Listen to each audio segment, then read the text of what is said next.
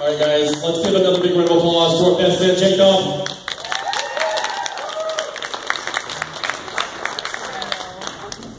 Good evening. For those of you that don't know me, I am Jacob, I'm Kevin's younger brother. And uh, as his younger brother, I have lots of stories to tell. so, uh, I'm truly honored to be best man today. Not only because I get to be a special part of this amazing day, but also because after all these years of sibling rivalry, Kevin has finally admitted that I am in fact the best Wuerth child. I'd like to start out by thanking those who made this wedding possible. Uh, Jessica's parents, Dee and Dave. Kevin's parents, John and Kim, or as I like to call them, mom and dad. Uh, and of course, the bride and groom. All so happy to be celebrating this special day with you guys.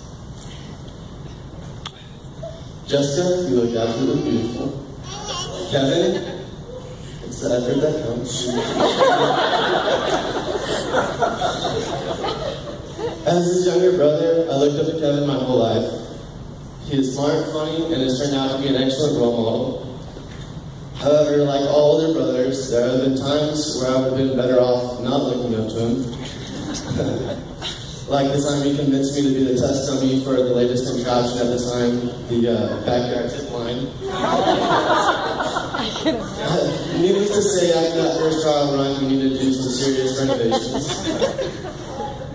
And uh, there's also the time that we were on a railroad bridge that ran over a shallow bay.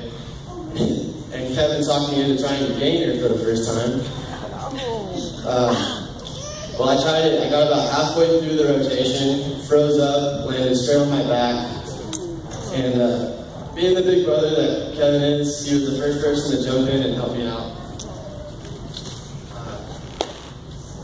Of course, he was only jumping in to tell me what I did wrong. and to make sure I was okay to try it again.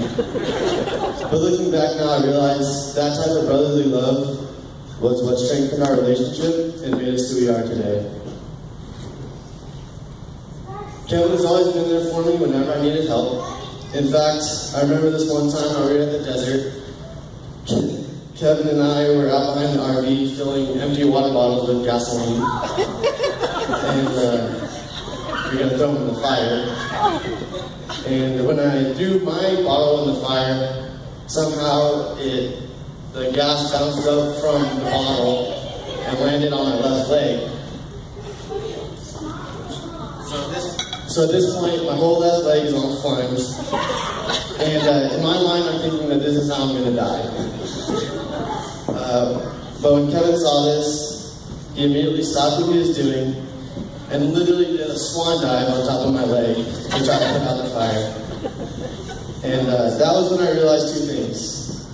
First, if you ever catch your leg on fire, you're probably better off just pouring water on it. and second, that no matter what kind of trouble I got into, Kevin would always be right there to help me out. I've known Kevin my whole life, and I can honestly say that he deserves to find his soulmate. And it didn't take me long after meeting Jessica to realize that he definitely found her. I love you both, and I couldn't be happier to celebrate this special day with you guys.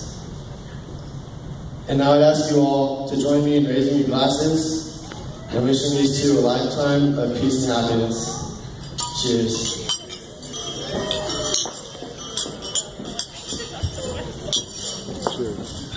Good job, Jitterbug.